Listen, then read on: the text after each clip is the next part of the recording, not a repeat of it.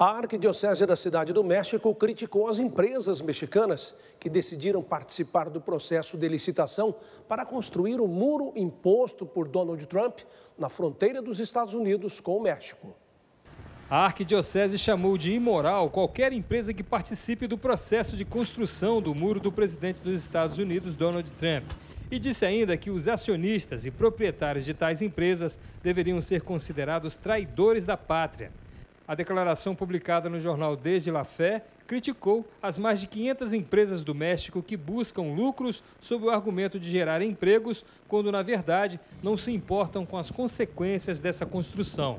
Na nota, a arquidiocese se diz surpresa também com a indiferença do governo em não mostrar firmeza contra esses empresários e acrescenta: tal investimento pode estimular todas as formas de discriminação que enfrentam milhares de seres humanos ao longo da história.